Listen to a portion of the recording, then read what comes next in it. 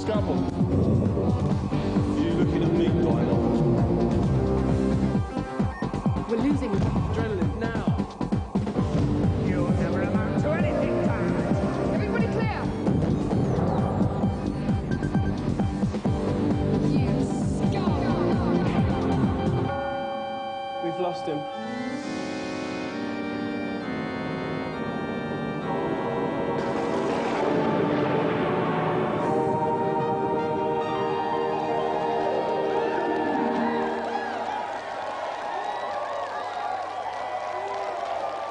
You know, feeding the 5,000, parting the Red Sea and turning water into wine are all very cool. But for real competitive action, you can't beat a round of golf, a game which allows business blokes everywhere to pretend they're getting exercise. We'll be abusing this monstrously fine contraption later on, and in the second half of the show, things get less than light as we feature one of the biggest games of the year, Mortal Kombat 3 on the PlayStation. But for now, let's gird our loins for today's news. Since our Tekken 2 event last week, arcades across the country have been heaving with copycats attempting to emulate the feats of our game crackers. But our guys are still the top. From playing Tekken a few times, um, I've actually discovered that you can actually get hidden character. Um, you got to press start three times, and you've got to shift the joystick to the right, and actually Bruce just appears. And the wimply named Bruce is so secret that even the Japanese don't know about him. So top work, British cracking blokes.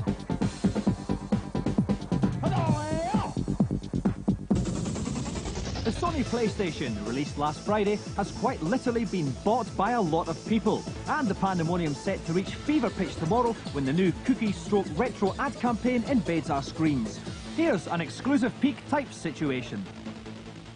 Someone somewhere is trying to sell you PlayStation games on TV. Be a real sap and switch off now.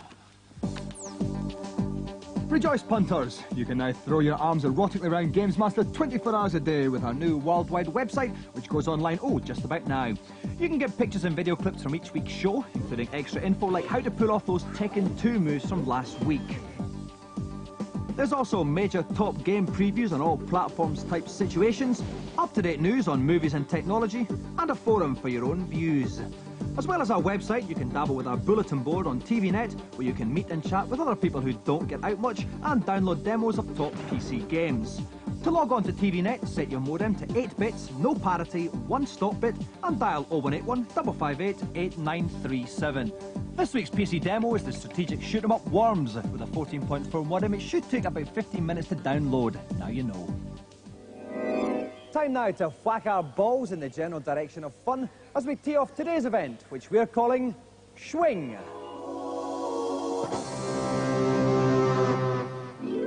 Always on the lookout for new tests for my contestants, I was particularly pleased when I stumbled across this little beauty in a local fish and chip shop. Smart Golf. Players use real clubs to hit a real ball against a massive touch-sensitive screen. Where the ball makes contact, a virtual ball takes over and flies according to how hard and in what direction the real ball was hit. It's just like real golf, except you don't need to wear silly clothes. Of the dozen courses on offer, I've chosen two holes from the testing British course, the Belfry. And my contestant must par them both. Now, we've decided it's a bit easy to have sports blokes on actually playing their own sport. So for this golfing event, please welcome the greatest snooker player in the history of the Green Baize, the man who's won the world title a record 134 times, Stephen Hendry.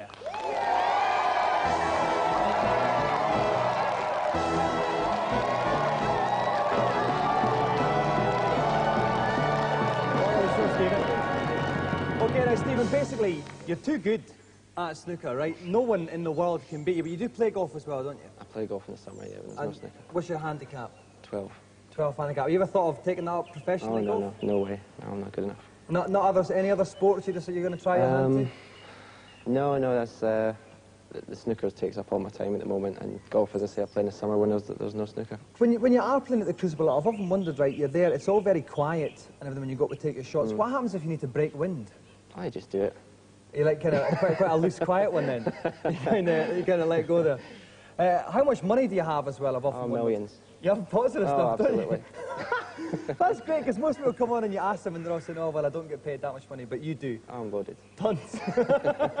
That's fantastic. And uh, the final thing is, right, obviously, you exploded on the snooker scene. No one has been able to touch you for years. The question everyone wants to know is, when you're wearing the waistcoat and the nice tight black trousers, are you wearing a boxer or a pant underneath that? I never knew you noticed. What is the, the trousers were nice and tight. I've, I've seen a couple of lines there, Stephen, and I've often been intrigued. What do you wear underneath? Uh, I wear boxers myself. You wear a boxer yourself. Is, that, is, that, is that a general thing within the snooker world? I don't know. You'd have to ask them. You don't really we get don't get changed in front of each other. No, you don't. It's not that. It's uh, not, that, it's not a big locker room atmosphere there. No, it's all individual. Right, Stephen, then, if you'd like to follow me over to this unfeasibly large contraption we have, we'll get ready to start the challenge. And uh, let's get rid of these flowers first of all, because they're not nearly blokey enough. Uh, Rick Henderson for PC Review is joining me at the 19th hole. Rick, any tips for Stephen? Yeah, there's no wind. We're playing without wind on the holes, Except so us, uh, obviously uh, a lot of hot air anyway. um, and he's just got to keep it very straight and firm and true. Um, and also his putting. He said that his putting's not too great, so try and get to the green in two. Okay then, Stephen has to take part in two holes, the 10th and the 18th. They're both par fours, so he has to get par or under to win the challenge. And obviously, as you can see, we are using the Game Boy version of the game. So, uh, Stephen, if you'd like to select your club and tee off.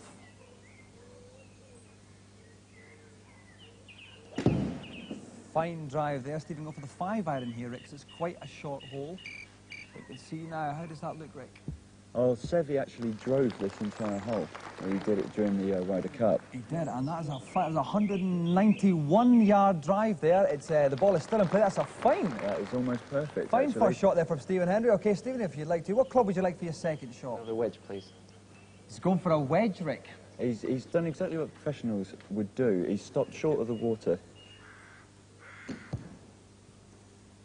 And he's just taking that one. Let's see, where's that going to go? A little bit of a hook there, Oh, but it's all nice carried shot. over, beautifully placed on the green there. A fine second shot from Stephen Hendry. Okay, so I imagine Stephen will go to the putter now. That was a very, very good recovery shot there. But here we are. Uh, This is where we're going to test his putting skills. Well, he He's has got got on, to he has in. got onto the green in two, Rick, like Yeah. you recommended. He's got two to try it in. Okay, now the putting he's actually moved on to the front part of the contraption, and that's because it's, uh, it's smoother and it's more representative of what the green is like. So he's five inches above the pin, 35 feet away, takes the putt. It's there. Oh, this looks good. You can see it going Oh. towards the hole. Oh, just stops two inches short of the hole. What's going to happen now is the computer will assume that Stephen will make the hole and the next shot is going to give it to him. So at the end of the first hole, Stephen Hendry is still on par.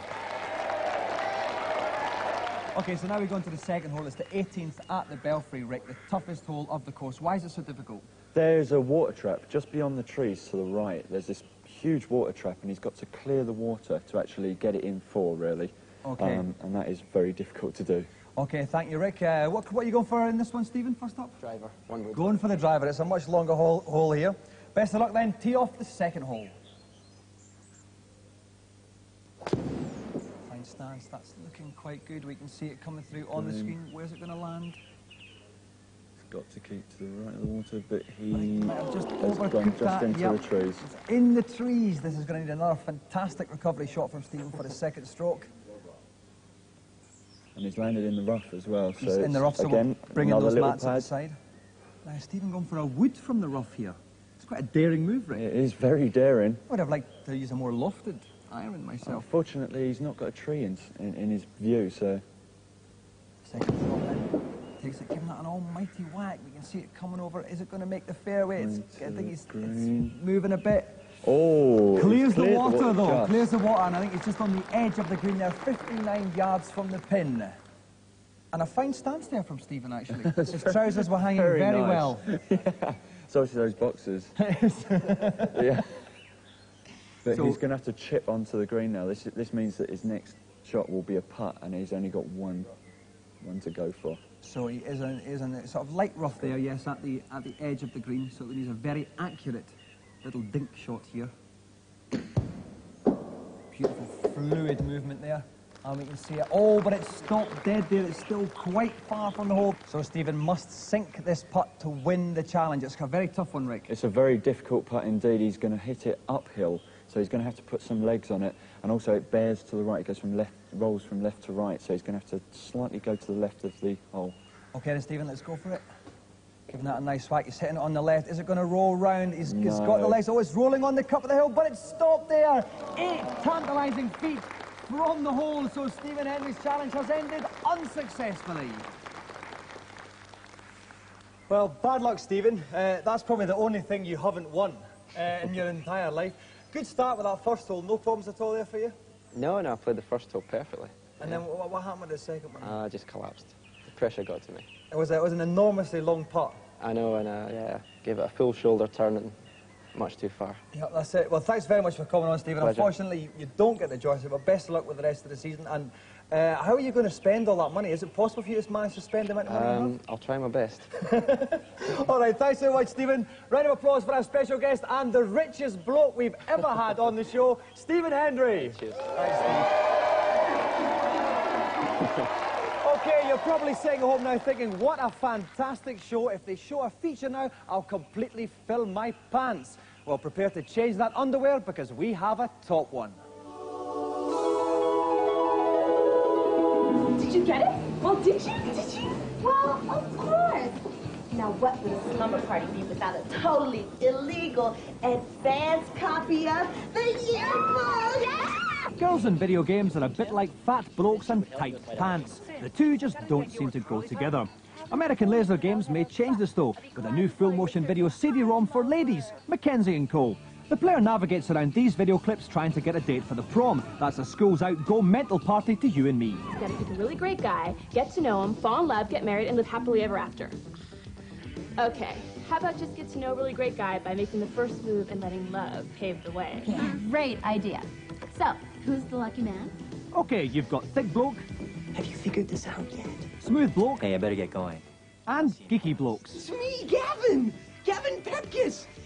And Farm Club! The footage for the game was shot not in Hollywood, but in some bloke's old shed. And hundreds of alternate scenes were shot, allowing the player to determine how the story turns out. No expense was spared to capture that top teenage atmosphere. Car parks were filled with sand to make glamorous scenes like this. Is this party awesome or what? You're next. Whoa! All manner of obstacles crop up to foil your pursuit of your ideal date. And as usual with teenage girls, the telephone figures largely. Why don't you give me a call when you get off work? Can you help us out, Friday?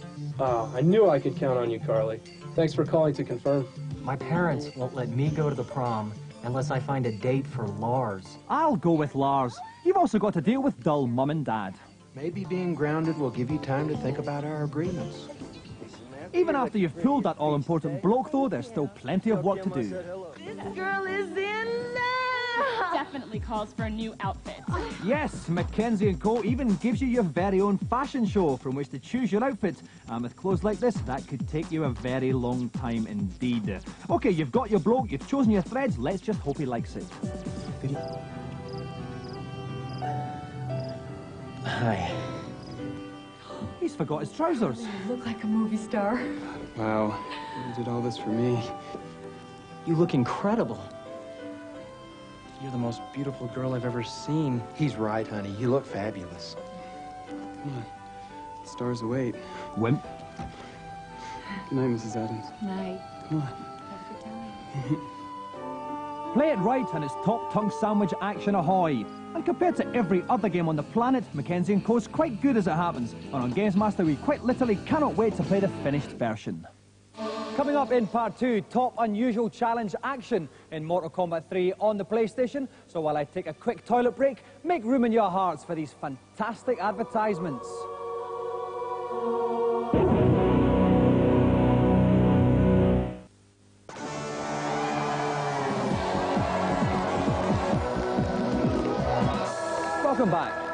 Mortal Kombat 3 on the PlayStation has what's called a six-month exclusivity window. This means if you bought a copy now and stood in the street waving it like a madman, six months later some bloke would come along doing the same with the Saturn version. So let's go over to Rick and Dave to find out if those six months would be full of gay joy.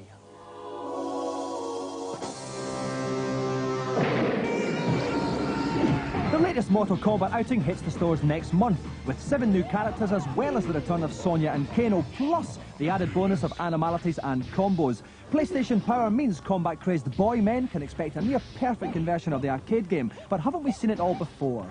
There's codes in there, and there's now animalities, which were always rumoured, rumoured to have been in the previous game. But I'm not sure that this really adds anything to the genre. And with games like Tekken and the new 3D environments to fight in, I think Mortal Kombat may actually have had its day. Okay, it's not a great improvement over Mortal Kombat 2, but hey, we haven't seen a Mortal Kombat game on a PlayStation ever. It's got huge and very speedy graphics. It's also got code words. It'll give you extra characters. It'll give everything you ever want from a Mortal Kombat game and more. I hope this is the last one, but it's certainly a good way to go out. It's certainly monster, and I'm going to be playing it. I know you're going to be playing it. All I'm saying is, don't expect too much. Top finger pointing action, Dave. Finish him.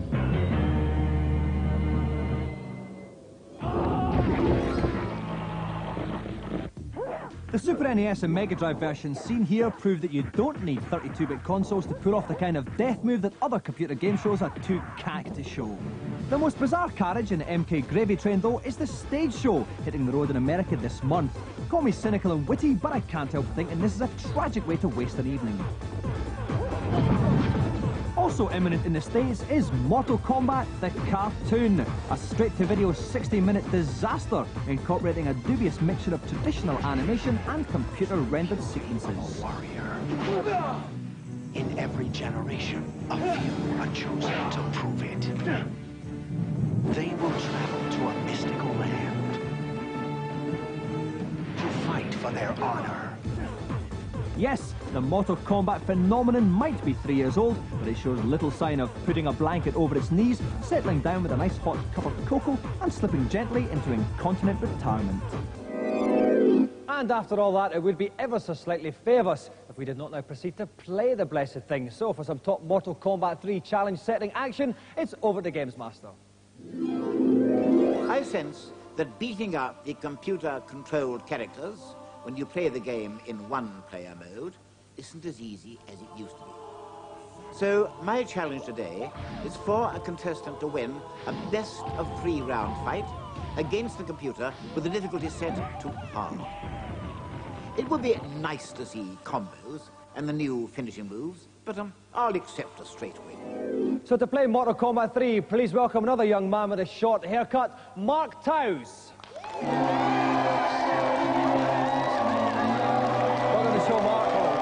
Now, Mark, you're aptly suited to this. You are all formats national games playing champion and a bit of a martial arts expert. Oh, I do have a fantastic pair of nunchucks, Dominic. Uh, I'm, I'm sure you do. And also a big uh, game show fan.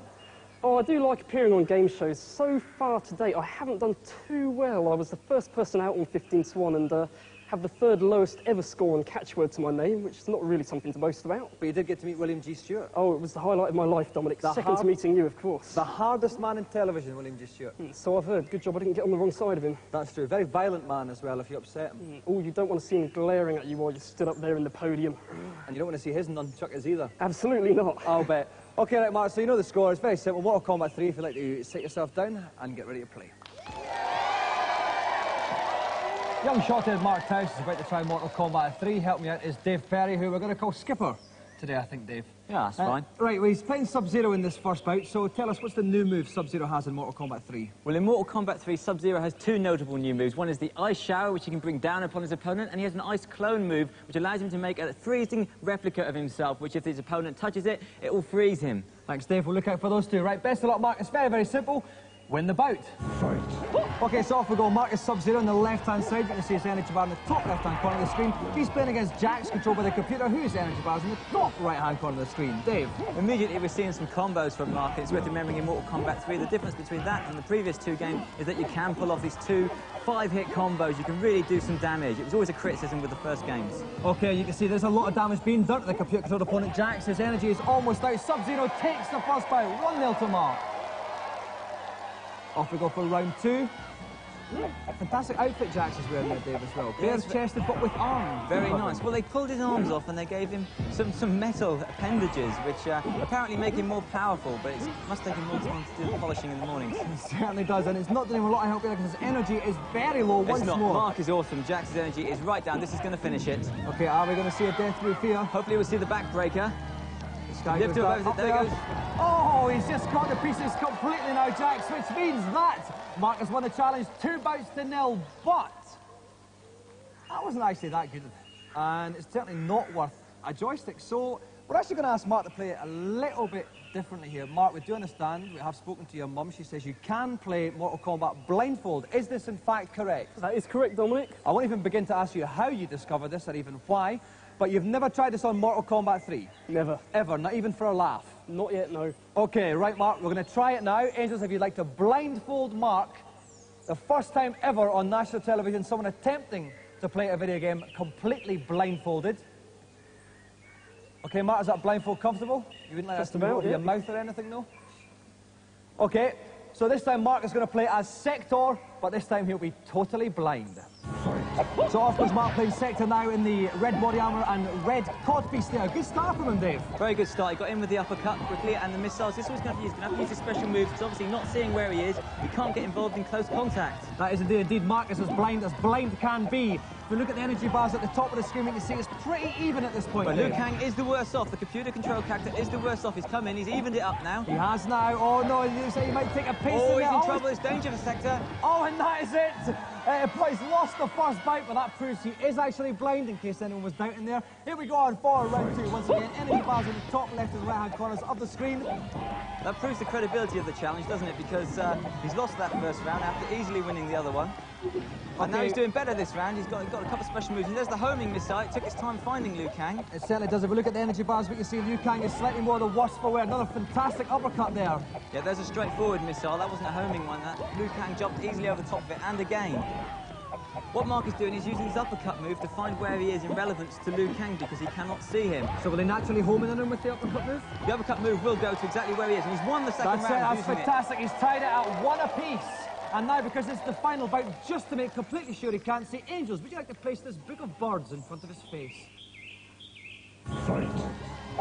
So off he goes, In the Dave. meantime, Mark's already started. He's not having any of that. He's taken the lead. He's uppercutted Liu Kang and he's tried a couple of missiles. There's a homing missile, catches Liu Kang Oh, in the air. fantastic double uppercut Beautiful. homing missile combo there. This is a fantastic round from Mark. And remember, He's this doing man very is well. so blind.